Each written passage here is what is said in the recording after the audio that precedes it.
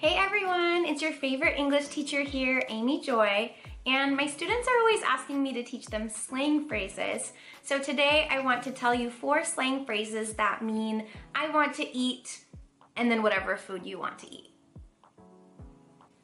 Okay, number one, I'm in the mood for, plus the food you want to eat. For example, I'm in the mood for Chinese food. Number two, I feel like, plus the food you want to eat. So you can say, I feel like pizza, or even I feel like eating pizza. Number three, I'm craving plus the food you want. So for example, I'm craving peanut butter ice cream. Now number four is really similar to number three. It says, I have a craving for, and then the food you want to eat. So I have a craving for peanut butter ice cream.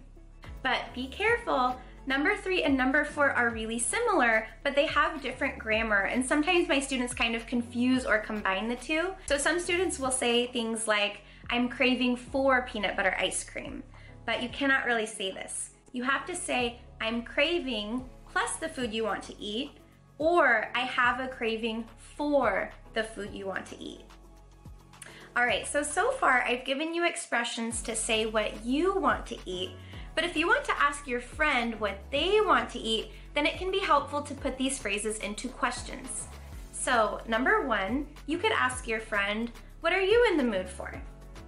Number two, What do you feel like? Number three, What are you craving? And number four, What do you have a craving for?